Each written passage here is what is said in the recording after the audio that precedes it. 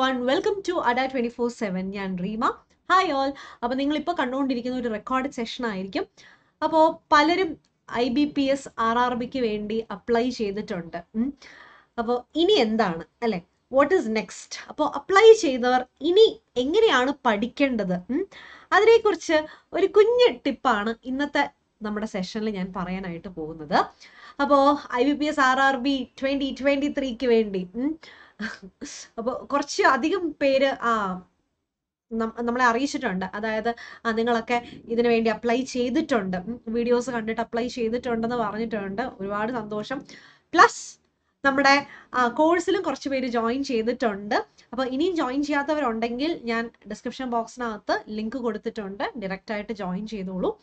അപ്പോൾ അതിന്റെ ബാക്കി കാര്യങ്ങളൊക്കെ ഞാൻ towards the end of the video ഞാൻ പറയാം. അപ്പോൾ വാട്ട് ഇസ് നെക്സ്റ്റ് അപ്ലൈ ചെയ്തു. ആണല്ലോ. നിങ്ങളുടെ പലരും I B P S R R ബിക്ക് വേണ്ടി അപ്ലൈ ചെയ്തു. ഇനി എന്താണ് ചെയ്യേണ്ടത്? അപ്പൊ അങ്ങനെ കൺഫ്യൂഷൻ ആയിട്ട് നിൽക്കുന്നവർക്ക് ഇപ്പോ രണ്ട് ഓപ്ഷൻസ് ആണുള്ളത്. ഒന്നെങ്കിൽ നിങ്ങൾ സെൽഫ് സ്റ്റഡി ചെയ്യണം. ഓക്കെ തന്നെ പഠിക്കണം. അതാണ് ഒരു കാര്യം. അപ്പോൾ ആ സെൽഫ് സ്റ്റഡി എന്നാണെങ്കിൽ ശരിക്കും പറഞ്ഞു കഴിഞ്ഞാൽ നമ്മുടെ YouTube channel Adda twenty four seven അതേപോലെ നമ്മുടെ ഈ ബാങ്കിങ് ചാനൽ ഇതെല്ലാം നിങ്ങളെ ഹെൽപ്പ് ചെയ്യുന്നതാണ്. നിങ്ങൾ സെൽഫ് സ്റ്റഡി ആണെങ്കിൽ അപ്പോൾ യൂട്യൂബ് ചാനൽസ് നിങ്ങൾ റെഫർ ചെയ്യുക. അതിൽ നിന്ന് പറയുന്ന കുറേ ക്വസ്റ്റ്യൻസും അങ്ങനത്തെ തിയറി പാട്ടും ഇതൊക്കെ നിങ്ങൾ പ്രാക്ടീസ് ചെയ്യുക. അതല്ലെങ്കിൽ ഞാൻ പറഞ്ഞതുപോലെ ജോയിൻ ചെയ്യാം ഓക്കെ നമ്മുടെ കോഴ്സ് ജോയിൻ ചെയ്യുക. ബാക്കി കാര്യങ്ങൾ അതിലൂടെ പഠിക്കാം. ഓക്കെ ഇനി രണ്ട് പേർക്കും കൂടെ ഇപ്പൊ നിങ്ങൾ സെൽഫ് സ്റ്റഡി ആയിക്കോട്ടെ അതോ നിങ്ങൾ കോഴ്സ് ജോയിൻ ചെയ്യുന്നവരായിക്കോട്ടെ രണ്ട് പേർക്കും കൂടെ അഡീഷണൽ ആയിട്ട് എക്സ്ട്രാ ചെയ്യാൻ പറ്റുന്ന ഒരു കാര്യമാണ് ഞാൻ ഇന്നത്തെ ഈ ഒരു സെഷനിൽ ഞാൻ പറഞ്ഞു തരാൻ പോകുന്നത്. അതായത് നിങ്ങൾ memory based question papers solve ചെയ്യണം. Okay memory based question papers നമുക്കറിയാം ഏതൊരു ബാങ്ക് എക്സാമിന്റെയും ക്വസ്റ്റ്യൻ പേപ്പർ ആസ് സച്ച് നമുക്ക് കിട്ടില്ല. അല്ലെ? നിങ്ങൾക്ക് എല്ലാവർക്കും അറിയാവുന്ന ഒരു കാര്യമാണ്. ബാക്കി പി എസ് സി എക്സാംസ് പോലെയൊന്നും അല്ല. ബാക്കി എല്ലാത്തിലും നമുക്ക് ക്വസ്റ്റ്യൻ പേപ്പർ നമുക്ക് കിട്ടും. എന്നാൽ ഈ പറയുന്ന ബാങ്കിങ് എക്സാംസിനൊന്നും നമുക്ക് ക്വസ്റ്റ്യൻ പേപ്പർ നമ്മുടെ കയ്യിൽ കിട്ടില്ല. പിന്നെ ഉള്ളത് എങ്ങനെയാന്ന് വെച്ച് കഴിഞ്ഞാൽ ആ ഒരു ഇതാണ്. അതായത് അത്യാവശ്യം ഇപ്പോൾ ഏജ് ലിമിറ്റ് കഴി എന്താ നന്നായിട്ട് പഠിക്കുന്നവരായിരിക്കാം. അവർ ചിലപ്പം എക്സാംസ് ഫോക്കസ് ചെയ്യുന്നതായിരിക്കില്ല. അപ്പൊ അങ്ങനെയുള്ള ചിലരൊക്കെ ചിലപ്പം ചിലപ്പോൾ ഇൻസ്റ്റിറ്റ്യൂഷൻസിനൊക്കെ വേണ്ടി അവർ പോയി അറ്റൻഡ് ചെയ്യും. എന്തിനാന്ന് വെച്ച് കഴിഞ്ഞാൽ ജസ്റ്റ് ആ ഏതൊക്കെ ഏരിയാസ് വന്നു ആ ക്വസ്റ്റ്യൻ പേപ്പറിന്റെ ക്വാളിറ്റി എന്താണ് എന്നൊക്കെ അറിയാനായിട്ട് അവർ അറ്റൻഡ് ചെയ്യും. പക്ഷെ അവർ ശരിക്കും എക്സാമിന് വേണ്ടിയുള്ള ആ ഒരു മോട്ടീവോട് കൂടി ആയിരിക്കില്ല എഴുതുന്നത്. അപ്പൊ അങ്ങനെ വരുമ്പോഴത്തേക്കും അവർ എക്സാം അറ്റൻഡ് ചെയ്തതിന് ശേഷം അവർ പുറത്തിറങ്ങിയിട്ട് ഇതുപോലെ മെമ്മറി ബേസ്ഡ് ക്വസ്റ്റ്യൻ പേപ്പർ ആ ടീമുമായിട്ട് ചേർന്ന് ഒന്നോ രണ്ടോ കാൻഡിഡേറ്റ്സ് അവർ റെഡിയാക്കും അപ്പോൾ ആ മെമ്മറി ബേസ്ഡ് ക്വസ്റ്റ്യൻ ഉണ്ടെങ്കിൽ ബാക്കിയുള്ളവർക്കാണെങ്കിലും ഇനി വരുന്ന ഷിഫ്റ്റുകാർക്കാണെങ്കിലും ഒക്കെ മനസ്സിലാവും ഓക്കെ ഇന്ന ഇന്ന ഏരിയാസ് ചോദിച്ചു അതുകൊണ്ട് ഇന്ന ഇന്ന ഏരിയാസ് ഫോക്കസ് ചെയ്യണം എന്നുള്ള ഒരു ഐഡിയ കിട്ടും. അപ്പോൾ നിങ്ങൾക്ക് ഓക്കെ നിങ്ങളിപ്പോൾ കോഴ്സ് ജോയിൻ ചെയ്താലും ശരി. അതല്ല നിങ്ങൾ സെൽഫ് സ്റ്റഡി ആണ് ചെയ്യുന്നതെങ്കിൽ ശരി. നിങ്ങൾ മെമ്മറി ബേസ്ഡ് ക്വസ്റ്റ്യൻ പേപ്പേഴ്സ് നോക്കുക അത് പ്രാക്ടീസ് ചെയ്യുക. ഇപ്പോൾ നമ്മുടെ സൈറ്റിൽ തന്നെ ഒരുപാട് മെമ്മറി ബേസ്ഡ് ക്വസ്റ്റ്യൻസ് ഇട്ടിട്ടുണ്ട് ഇൻക്ലൂഡിങ് അതിന്റെ answer key okay solve question papers ആണ്. അപ്പോൾ നിങ്ങൾ ഈ മെമ്മറി ബേസ്ഡ് ക്വസ്റ്റ്യൻ പേപ്പേഴ്സ് ചെയ്താൽ ഉള്ള ബെനിഫിറ്റും കൂടെ ഞാൻ പറഞ്ഞു തരാം. നമ്മുടെ കോൺഫിഡൻസും അതേപോലെ പ്രിപ്പറേഷനും നമുക്ക് കുറച്ചുകൂടി ഒന്ന് ഇമ്പ്രൂവ് ചെയ്യാനായിട്ട് പറ്റും. ഓക്കെ ആ അപ്പോൾ ഒരു സേ ഒരു ഇപ്പം ഇതിപ്പോൾ ട്വന്റി ട്വന്റി ത്രീ ആണ് ട്വന്റി ടുവിന്റെ ഉണ്ട് back twenty one twenty at least minimum ഒരു മൂന്ന് വർഷത്തെ മെമ്മറി ബേസ്ഡ് ക്വസ്റ്റ്യൻസ് എങ്കിലും ചെയ്യണം. മിനിമം ആണ് ഞാൻ പറഞ്ഞത്. മിനിമം മൂന്ന് വർഷത്തെ ഓക്കെ ഒരു ബാക്ക് ടു ഒരു ത്രീ ടു ഫൈവ് ആണെങ്കിലും കുഴപ്പമില്ല. പക്ഷെ ഒന്നും ചെയ്യാത്തതിലും ബെറ്റർ ആണ് മിനിമം ത്രീ ഇയേഴ്സിന്റെ ഒരു ക്വസ്റ്റ്യൻ പേപ്പർ നിങ്ങൾ ചെയ്യുന്നത്. ഓക്കെ മാക്സിമം എത്രയാണെങ്കിലും കുഴപ്പമില്ല. കാരണം ആ ബാക്കിലോട്ട് പോയി കഴിഞ്ഞ് കഴിഞ്ഞാൽ ഈ പറയുന്ന ട്വന്റി നയന്റീനും ഒക്കെ നിങ്ങൾക്ക് കിട്ടും. അപ്പോൾ twenty eighteen two thousand sixteen ബാക്കിലോട്ട് അതെല്ലാം കിട്ടുന്നതാണ്. അപ്പോൾ ഒത്തിരി ബാക്കിലോട്ട് പോകണ്ട പക്ഷെ എന്നാലും ഒരു ത്രീ ടു ഫൈവ് ഇയേഴ്സിന്റെ എങ്കിലും question papers memory based question papers നിങ്ങൾ മസ്റ്റായിട്ട് സോൾവ് ചെയ്യണം. നമുക്കപ്പോൾ കുറച്ചുകൂടി നമ്മുടെ ഒരു പ്രിപ്പറേഷൻ ലെവൽ തന്നെ മാറും. നമ്മുടെ കോൺഫിഡൻസ് കുറച്ചുകൂടി ഒന്ന് ബൂസ്റ്റ് ചെയ്യാനായിട്ട് ഹെൽപ്പ് ചെയ്യും. ഇനി ഓരോ തവണയായിട്ട് നിങ്ങൾ ഓരോ ക്വസ്റ്റ്യൻ പേപ്പർ ചെയ്യുന്ന സമയത്ത് നമ്മുടെ ആ ഒരു സ്പീഡും ആക്യുറസിയും ഓക്കെ സ്പീഡും ആക്യുറസിയും നമുക്ക് തന്നെ ടെസ്റ്റ് ചെയ്യാനായിട്ട് പറ്റും. ചിലപ്പം ആദ്യത്തെ ഏറ്റവും റീസെന്റ് ആയിട്ട് ചിലപ്പോൾ നിങ്ങൾ ചെയ്യുന്നത് ട്വന്റി ട്വന്റി ടു ആയിരിക്കും. മിക്കവരും ചെയ്യുന്നത് അതാണ്. മിക്കവരും ചിലപ്പോൾ ഒരു വർഷത്തെ ക്വസ്റ്റ്യൻ പേപ്പർ ഒക്കെ ആയിരിക്കാം ചെയ്യുന്നത്.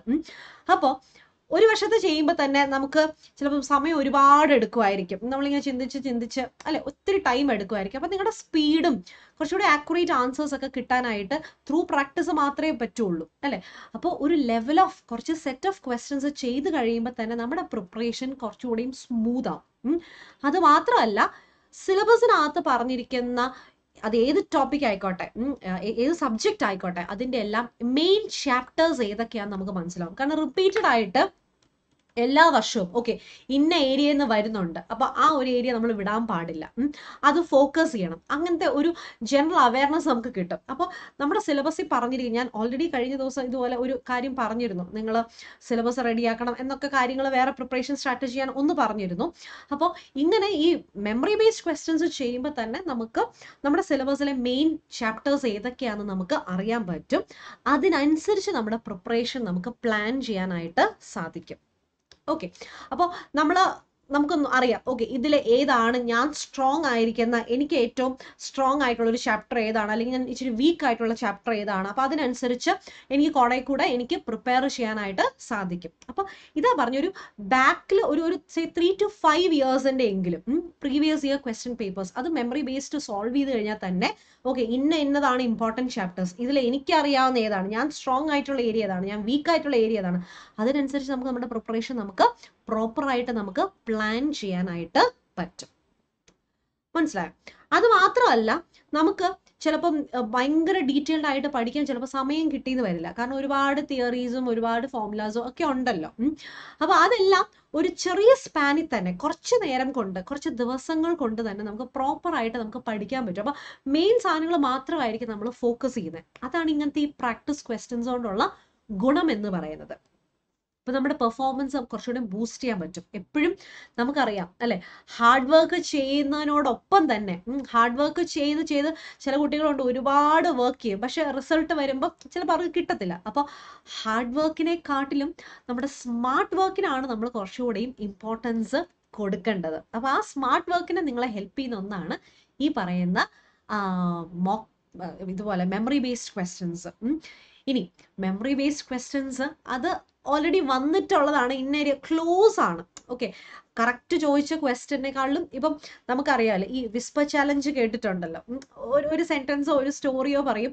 അത് പലരുടെ ചെവിയിൽ ഇങ്ങനെ പറഞ്ഞു പറഞ്ഞു പറഞ്ഞു പറഞ്ഞു പറഞ്ഞ് അവസാന ആളുടെ അടുത്ത് എത്തുന്ന സമയത്ത് വേറെ എന്തെങ്കിലും ആയിരിക്കും പറയുന്നത്. അപ്പം ആ ഒരു ഡിഫറൻസ് ചിലപ്പോൾ കാണാം മേ ബി പക്ഷെ എന്നാൽ പോലും കുറേയൊക്കെ നമുക്ക് അതുമായിട്ട് നമുക്ക് റിയൽ എക്സാമിന് ചോദിച്ച സാധനങ്ങളുമായിട്ട് കുറേയൊക്കെ ക്ലാരിറ്റി നമുക്ക് സിമിലാരിറ്റി അതിനകത്ത് വരും. അതുകൊണ്ട് തന്നെ നിങ്ങൾ മെമ്മറി ബേസ്ഡ് ക്വസ്റ്റ്യൻസ് മസ്റ്റായിട്ട് ചെയ്യാം. അപ്പോൾ തന്നെ നിങ്ങൾക്ക് എക്സാമിന്റെ ഓരോ ടോപ്പിക്സിന്റെയും ഇത്ര ഓക്കെ ഇത്ര പെർസെന്റേജ് അതിൽ നിന്ന് ചോദിച്ചു. അപ്പോൾ ഇത്ര മാർക്കാണ് അപ്പോൾ നമുക്ക് കുറച്ചുകൂടെ നിങ്ങളുടെ സ്റ്റഡീസ് കുറച്ചുകൂടെ എഫക്റ്റീവ് ആയിട്ട് നിങ്ങൾക്ക് ഓർഗനൈസ് ചെയ്യാൻ പറ്റും.